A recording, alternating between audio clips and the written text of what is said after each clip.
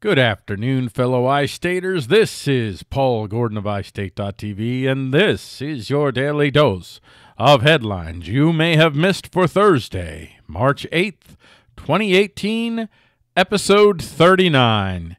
You give us 20 minutes, and we'll give you headlines that aren't dominated with fear porn. Not not that there isn't a little bit of it, but but it's it's not dominated by it. As I like to say, now with 30% less fear porn. We'll give you headlines of a self-awareness, hope, action, and yes, yes, maybe a little lulls. And yes, we do have some lulls for you today. We have a lulls of the day, although today we're not going to start off with lulls, but it's there. It's it's out there. If you're watching on YouTube, you missed the opening of the show, and you'll also miss the very end which you can only hear if you watch live on my personal Facebook page, Paul Gordon. Look for the guy with the AR-15, and I, again, I want to assure you that the AR-15 was lost in a boating accident. But be that as it may, you can find that image, and if it doesn't trigger you, uh, follow the page or do a friend request. Now, I want to I want to point this out. If you do friend request me based on the show, let me know. And if I look at your page, I'm I'm going to be a little bit more open to accepting a friend request if you came through the show.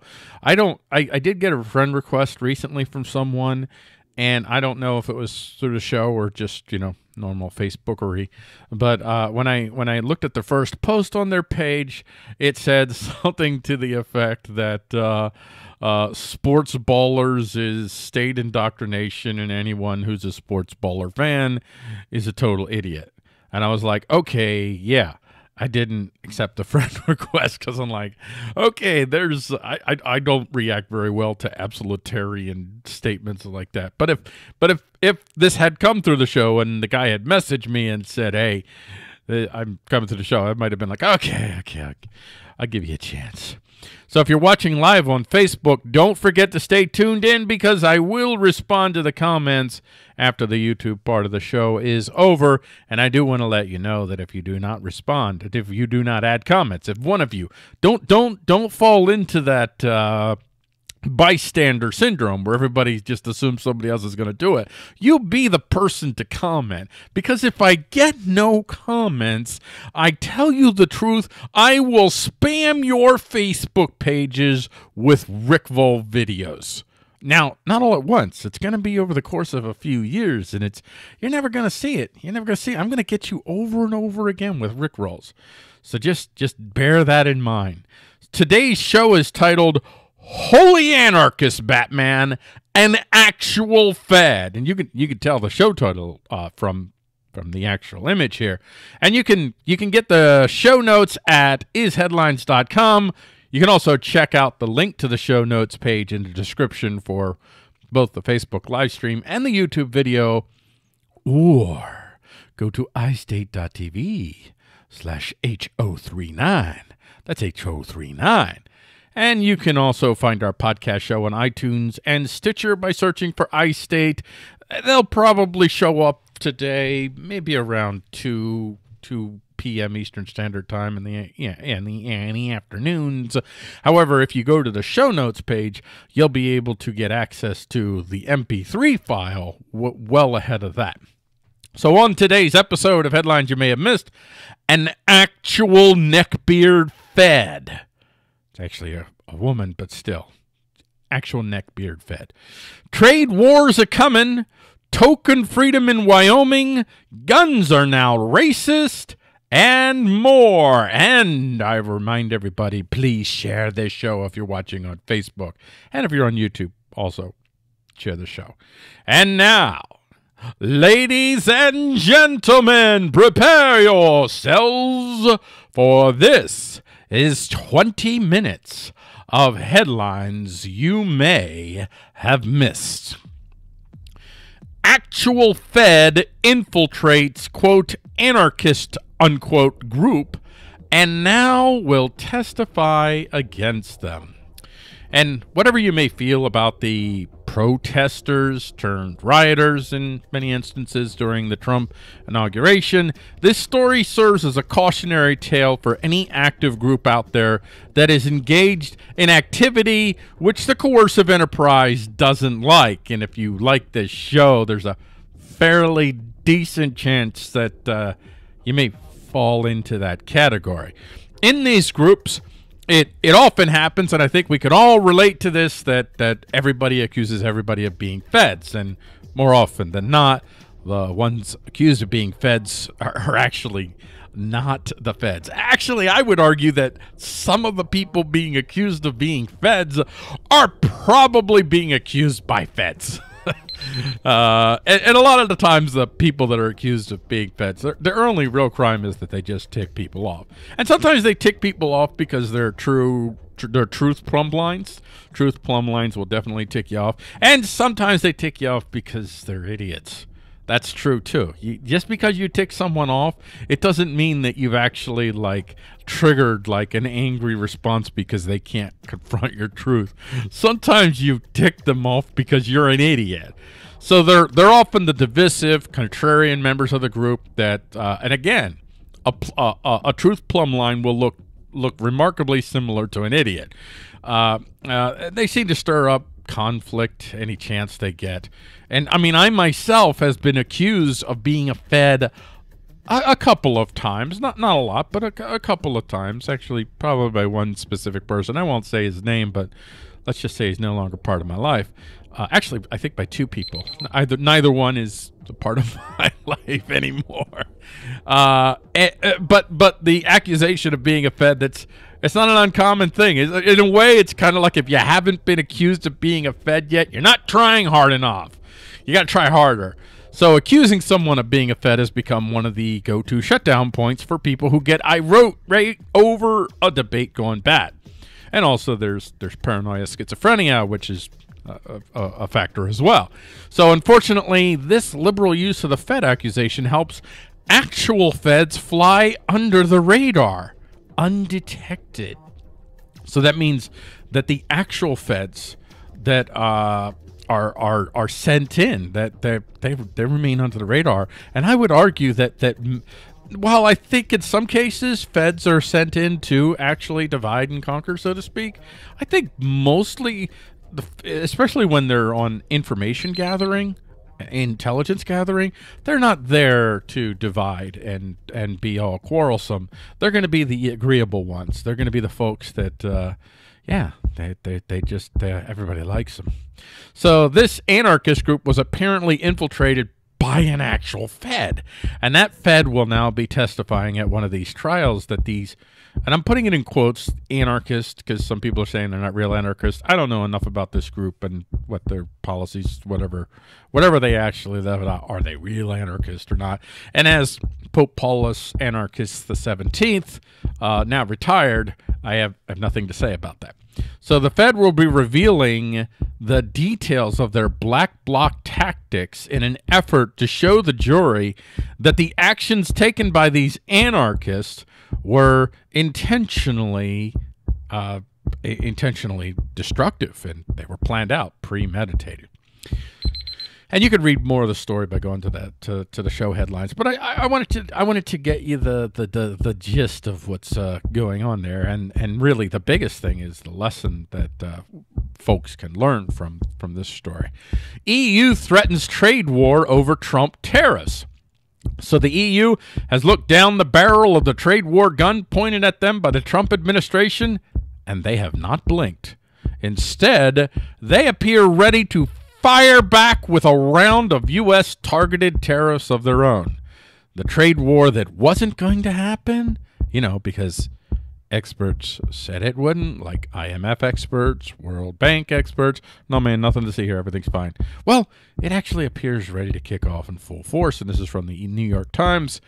European Union officials unveiled an array of tariffs on Wednesday that they would place on American made goods if the United States followed through on President Trump's plan to impose penalties on imported steel and aluminum raising the specter of a trade war. So there you have it. Yeah, everybody get ready. Got ourselves a trade war. Wyoming protects crypto tokens from regulatory hammer. And and I've covered before what what Wyoming is doing. I think it was a top story on headlines you may have missed a week or two ago about how Wyoming is trying to become a blockchain heaven or a blockchain safe haven. So in that bid, uh, new legislation was recently passed that protects certain crypto tokens from having to face regulations. And this is from TechCrunch. Wyoming has uh, uh, passed HB number 0070, a bill that allows the sale of open blockchain tokens to be exempt from regulation and money sending legislation. These tokens are very specific in their use and would more commonly be called utility tokens, essentially tokens used in the consumption of various services. They are very different from so-called equity tokens, which are sold on the promise or implied promise of investor gain. The tokens must fulfill one or all of these criteria. One, the developer or seller of the token reasonably believed that it sold the token to the initial buyer for a consumptive purpose. Two, the token has a consumptive purpose that is available at the time of sale and can be used at or near the time of sale for using for use for a consumptive purpose. Three, if the token does not have a consumptive purpose available at the time of sale, the initial buyer of the token is prevented from reselling the token until the token is available for use for a consumptive purpose, or for the developer or seller takes other reasonable precautions to prevent buyers from purchasing the token as a financial investment. Hey, this is probably going to be a longer lease story on uh, iSDaily Thursday tonight. As a matter of fact, that, that first story that we covered, I think we're going to go into that in a lot more detail if we get to it into iSDaily Thursday tonight on the Liberty Principle Facebook page. That first story about the the anarchist Fed, we're probably going to go into that in a lot more detail. That'll be the last story, and sometimes we don't get to our last story because Lou and I, we can spend time talking about a story in rather lengthy detail. Being pro-gun is now racist, says Shannon Watts. And if you need further proof that the gun grabbers, the cattle car guides, the police state enablers intend on using social shaming as their main bludgeon in their war against any non-gov person, take a gander at the recent Twitter exchange between the mouthpiece of a gun grabber group and a woman who is pro-gun.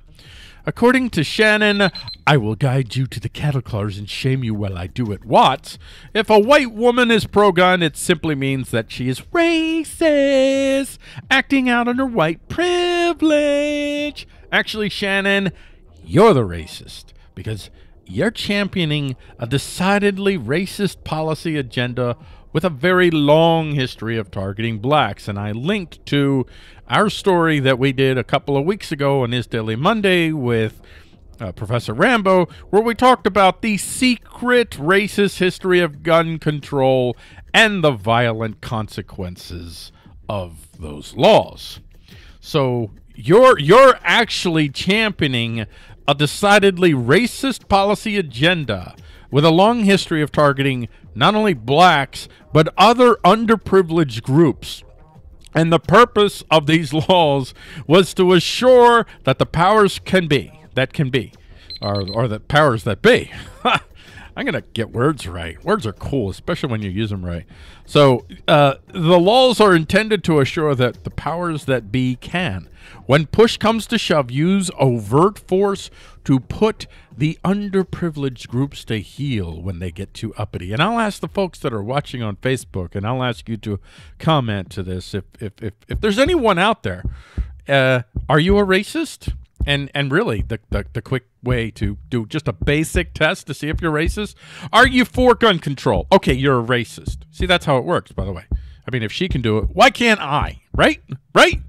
So, graphene to become super powerful superconductor thanks to magic angles.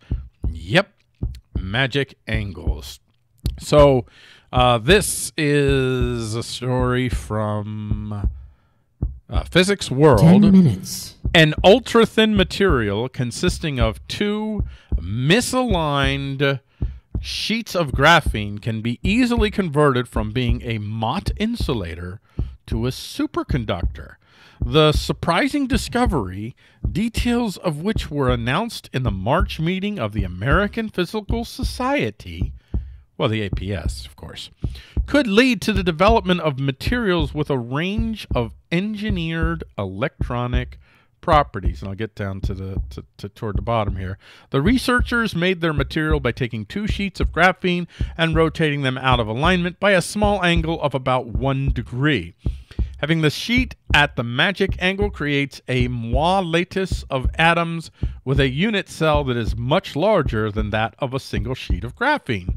Electrons are localized at lattice sites, and under certain conditions, electrons can tunnel from one lattice site to another. I'm sure everybody listening is gathering this information like oh yeah this makes this makes perfect sense I, I don't pretend to fully understand exactly what i just read but i understand this part i think Physicists now have an exciting new platform to probe the unusual properties of high temperature superconductors and possibly to design new materials that operate at even higher temperatures, said uh, Halio, uh, Hario, Hario Hararo at a news conference at the APS March meeting. Usually you have to grow different classes of materials to explore each different phase. We can explore all of the physics in one device electrically. It couldn't get any simpler. So for all you nerdle heads out there, I'm sure that you're listening to this like, I, I understand exactly what he's saying. I don't know why you don't understand exactly what he's saying. It's so simple. I mean, it's so simple. Even a Stanford grad could understand it. You went to MIT. That's why you said that. Okay let's let's move on. Still, it's cool, it's exciting news, and that's why I covered it. Goodyear's new tires uh, will have living moss inside. So Goodyear has seriously gone green with a new tire that is literally green. Literally, I mean literally green. I really like saying the word literally. And that green isn't paint, it's moss. That's right. Goodyear recently unveiled tires that will grow living moss inside of them.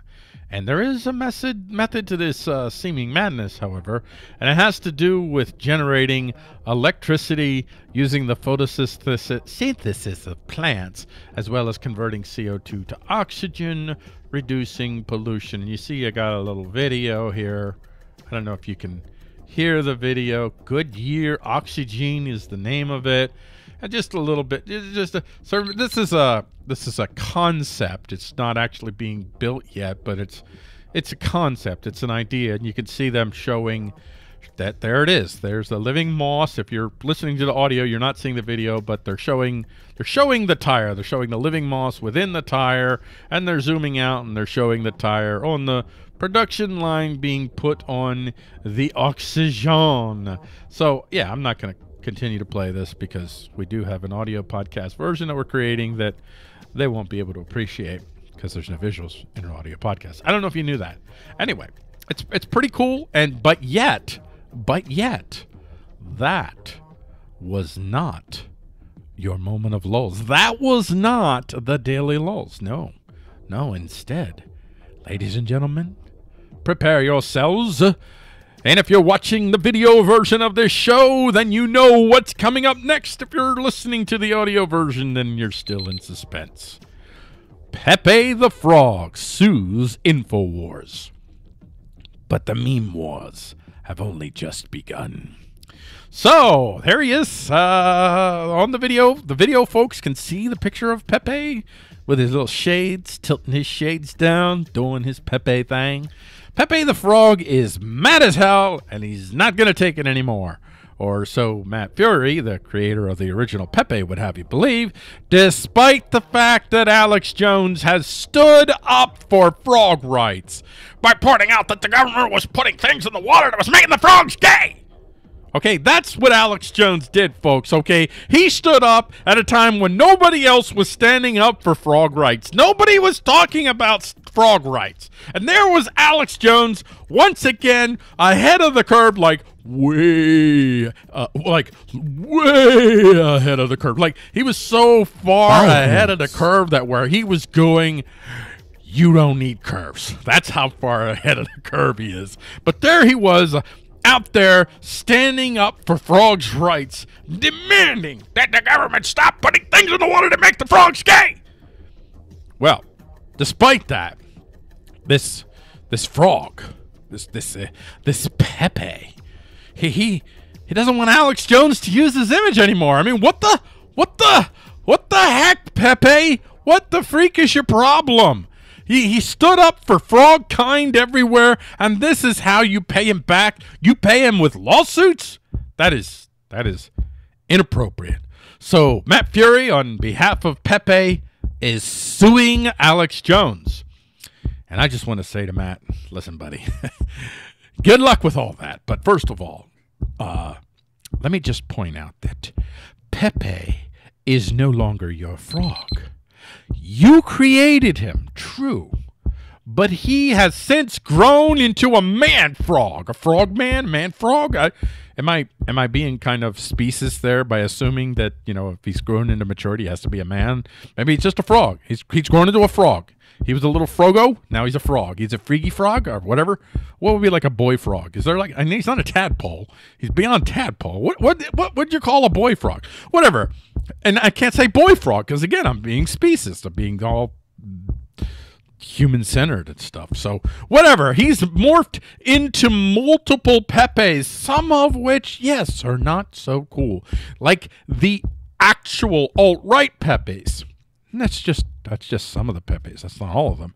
And, and again, as opposed to conservative or libertarian Pepes that are, well, they're they're also called alt right Pepes, even though they're not. Uh, the frog has grown up, and you cannot control Pepe. You tried to murder him, Matt. You tried to murder Pepe. But it didn't work. Pepe lives. And now your lawsuit it assures that more Pepes will march forward until one day, Matt, you will find yourself as Neo facing Agent Smith, with Agent Smith being an army of diverse Pepes and you being that latte pajama boy Obama used to pitch state-controlled health care. I'm, I'm gonna say, Matt, you know, if if if if if if you know, if I'm interested in your health and safety, I don't like the outcome of this one, buddy. I'm I'm I'm I'm seriously betting that the pajama latte version of Neo lacks the deft moves of Keanu Reeves and his CGI enhanced performance. But I do want to thank you for this, Matt, because you have assured that Pepe lives and he will live stronger than he was before. May Pepe Two meme minutes. stream forever across the great trolliverse, unshackled by your bourgeois first world privilege and your petty social construct of intellectual property. I know I spent way too much time on that story, but I enjoyed it. So so fight me. Saudi prince calls Turk Reich Iran and Islamists the new axis of evil. So it appears that the Saudi prince has recognized what the U.S. is either failing to recognize or refusing to acknowledge. The Saudi prince has come out recently and declared that the Turk Reich, Iran, and radical religious groups in Syria have formed the new axis of evil. And I can agree with the current figurehead of the House of Saud on one thing, and that is that the Turk Reich is, quote, evil, unquote.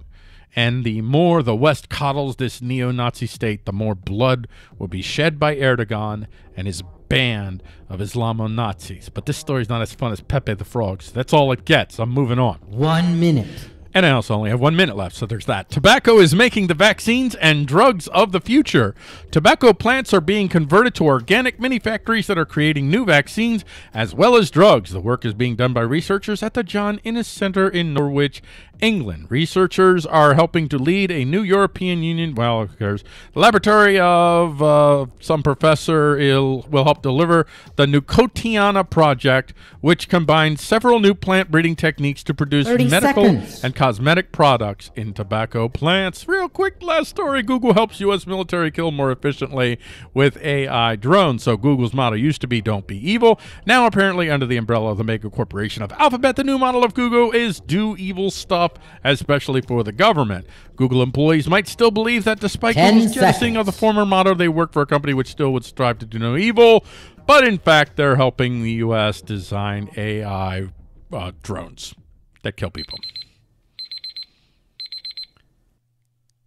Yep. I really had to cut that last story short because I ran out of time. And that is like, I'm usually not an absolutarian with things, you know, I'm pretty flexible. Uh, I, I set standards and guidelines more than I do absolutarian rules. But when it comes to 20 minutes of headlines, it's 20 minutes, folks. That's it. That, that's a that's a 20 minute time period.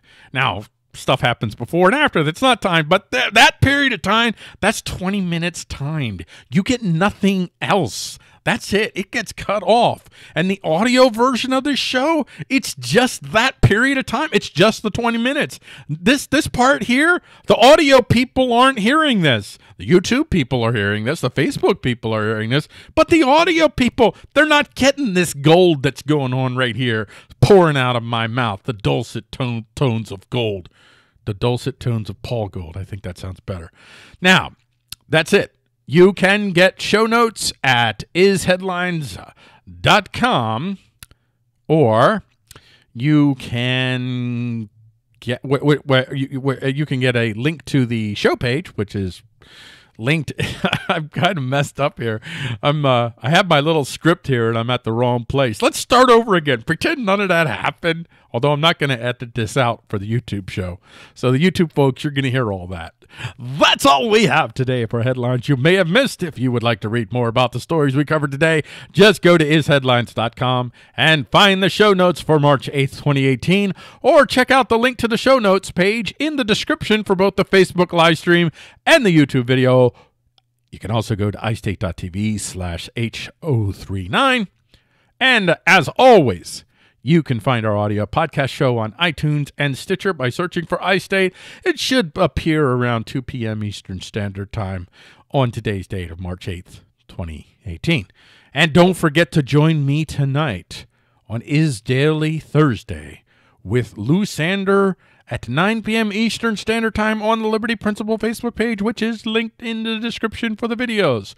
Tonight's show is titled have you visited your state porn site today? Yes, that's the title. That's going to be the top story. And you're going to have to tune in to figure out what the heck is he talking about. As always, remember, those who need to control thoughts need to control news. Until tomorrow at 12:30. Well, no, no, no, no, no. Mm, no, no, Mr. Scripty Script. No, you're wrong, Mr. Scripty Script. No, until Monday because there's no show on Friday. This is Monday through Thursday show. So until Monday, this coming Monday at 12:30 p.m. Eastern Standard Time, this is Paul Gordon of iState.tv saying have a great rest of your day, fellow iStaters.